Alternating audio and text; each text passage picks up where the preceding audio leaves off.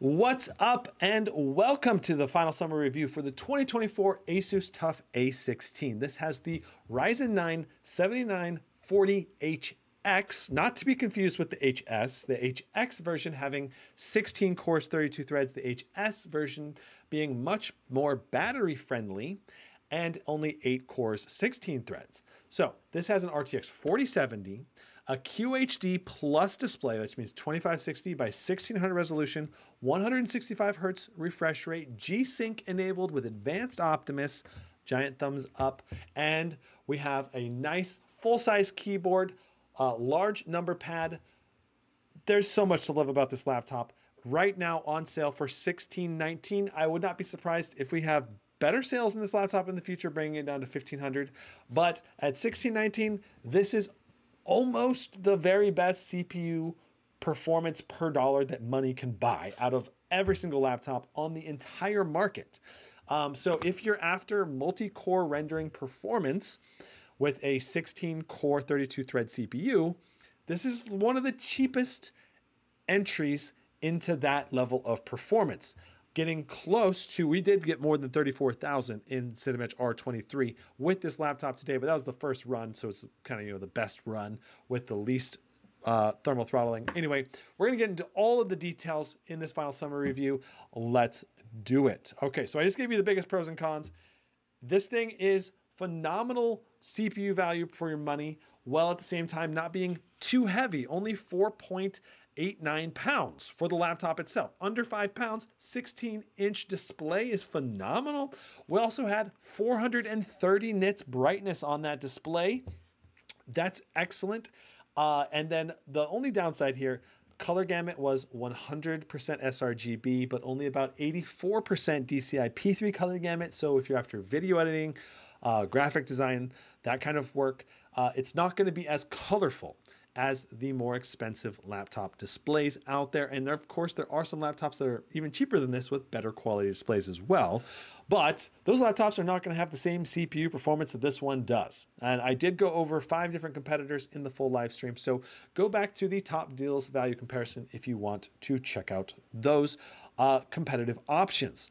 Overall, the biggest cons to this laptop, it's just, it's, it's a bit larger. It doesn't have maybe as good a port selection. The speakers are not as good as well.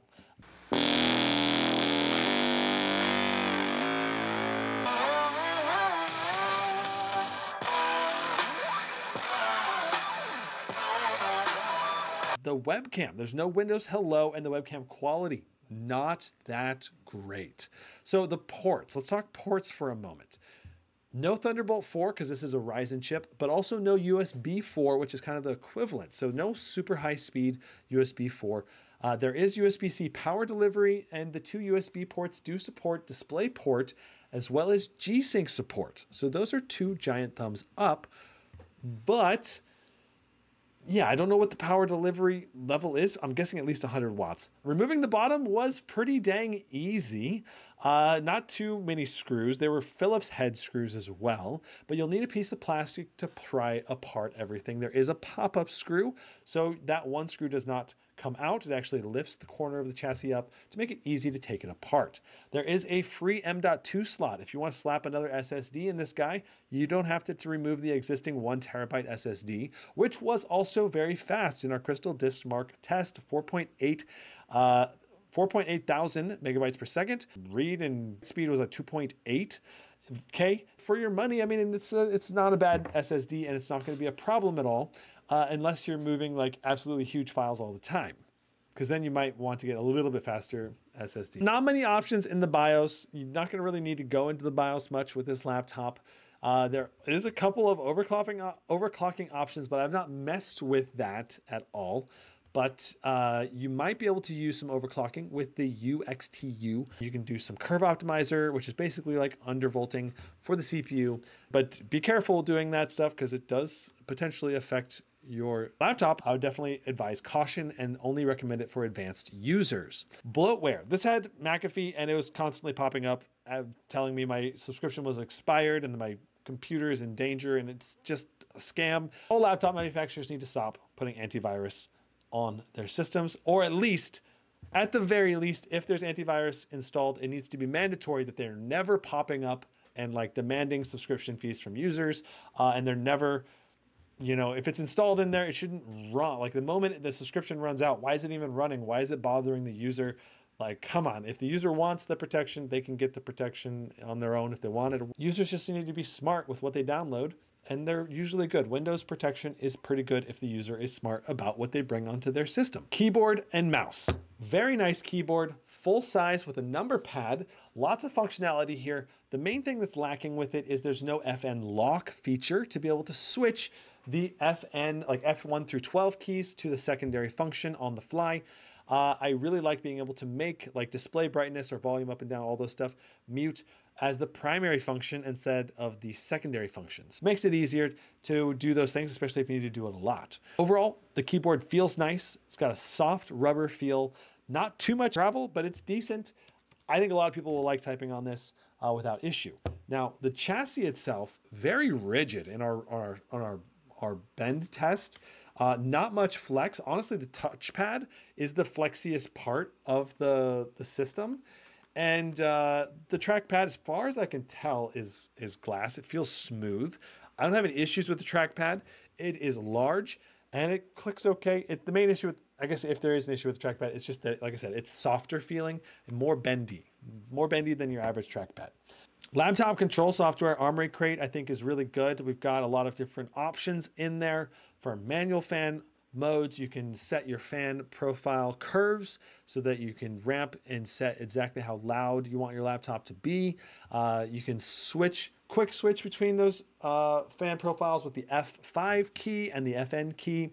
And uh, the different profiles landed in the usable range in fan noise. Now, the fan noise, in my opinion, is a bit on the like motory sound. I think you're hearing the fan motors, or we are hearing the fan motors kind of wind up in max fan mode. And I think it's a little bit louder in that sense.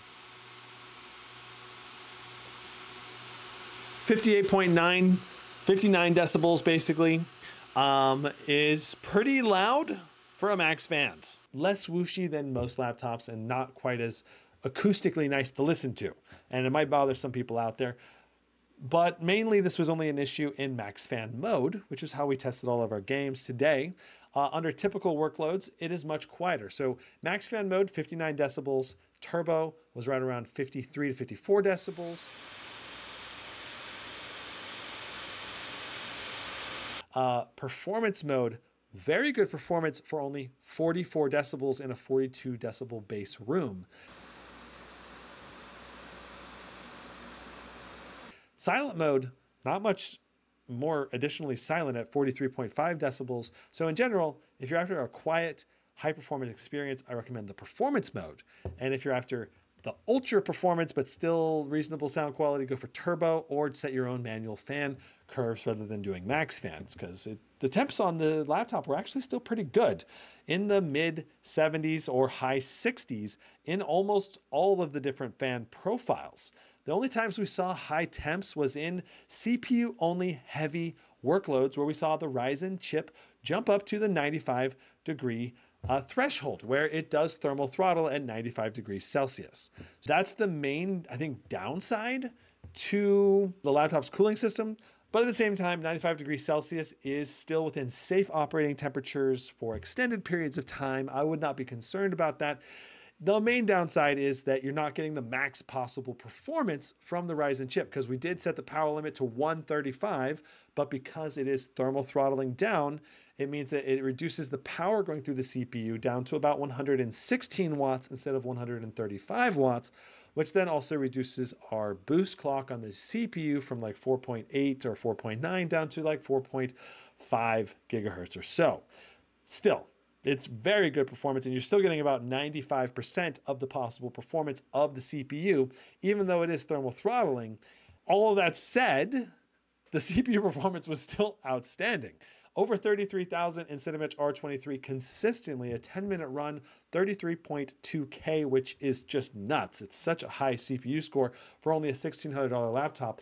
It does not really get better than that from a CPU points per dollar perspective, or much better than that, especially considering you're at the peak of what CPU points you can get in the first place. So you're getting peak value for your money and you're getting peak performance. And it's super rare to have peak value and peak performance be in the same laptop. And that's really, I think, what makes the Asus TUF A16 unique and an interesting proposition for those of you that need high amounts of CPU cores and want a lot of threads, virtual machines, running tons of different apps at the same time, needing to render video while doing something else in Photoshop, running a background game server while you still want a game with good performance on the other cores. You know, there's all kinds of different potential applications for so many CPU cores. And that's really where the end user can decide is it something that's viable or really something that's needed for them or not. Let's talk AIDA64 RAM speed. Read, write, copy, not very good around the 50K mark. Uh, but the latency was uh, 94.5 nanoseconds, I believe, and that is pretty good above average or like faster than average uh, for the latency. Cinebench R23 single threaded was 1860, I believe, which is still good, but not as good as what we've seen from Intel, which is pretty typical of Ryzen versus Intel. Apex Legends on low settings, we're getting more than 165 hertz or 165 FPS for our 1% lows, which it makes it an optimal esports gaming experience. And in all, I'm not gonna say every esports game out there, but almost every esports game out there, with some exceptions like maybe Warzone uh, 2, you're gonna be able to get to the 165 hertz refresh rate for your average FPS at least with the full QHD resolution. So that's great. You're talking Fortnite, Valorant, Counter-Strike 2, all of those, you're definitely going to be able to get to that 165 hertz refresh rate. Uh, though Counter-Strike 2, you might need to fiddle with the settings a little bit. Uh, you know, put them on high or maybe very high instead of ultra um, to get that full FPS experience. Um, overall, Baldur's Gate 3 was a great experience at 150 FPS. Cyberpunk 2077, not so great. We had to do some tweaking, dropping ray tracing, dropping DLSS to balanced, and then bam, over 120 FPS. Phenomenal. Uh, Dead Space, ultra settings, DLSS on quality, great experience. I think it was in the 70s. Uh, Dragon's Dogma 2, out in the wilderness, fighting stuff, I don't think is going to be a problem mainly when you're in cities, high populated areas with NPCs. Goodness, that game is not optimized. And we saw some terrible 1% low stutters in Dragon's Dogma 2. Definitely a dev issue, dev optimization still needs to be done with that game. God of War. We were, I believe, in the 70s for uh, ultra settings, DLSS on quality, and uh, dropping graphic settings down to original boosted us up over 100 i think in the 120 range which is good. It's very good. For qhd gaming it's going to be a great experience. Helldivers 2 we were averaging around 90 fps on ultra settings with ultra render quality. Very good gaming experience. Super smooth consistent 1% lows. Uh, no issues in helldivers 2 illuvium a lot of stutters in the overworld. Had to drop textures down to medium. Still need more game optimization from the devs in Illuvium. Uh, overall, game experience, though, I expect after more optimization to be very good, even on epic settings, except textures might need to be dropped down to medium or high. Hogwarts Legacy.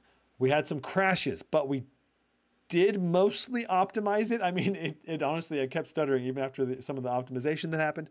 Only 16 gigs of RAM is not quite enough for Hogwarts Legacy. I really recommend 32 gigs for that game specifically, unless you're wanting to play on lower settings.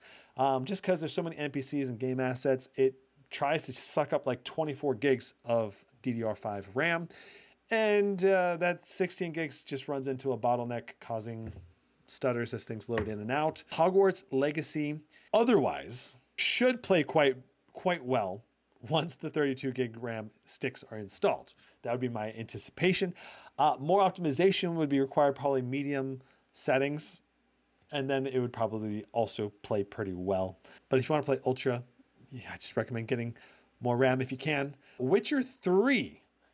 We were 70 FPS with frame gen, not quite enough in my opinion turning off ray tracing boosted us over 100 or close to 190 to 100, which gave us great overall gameplay experience with frame gen enabled. So definitely eh, capable of playing the game once ray tracing is disabled. But as you can tell, as I went over all those different games, multiple game setting optimizations need to occur either turning off ray tracing or turning textures down are the two main things that'll boost your FPS and make this a great gaming laptop in the vast majority of games. Um, in terms of CPU performance, this thing is like the, I don't know if it's quite the king, but it's almost the king of CPU performance in the mid range price segment.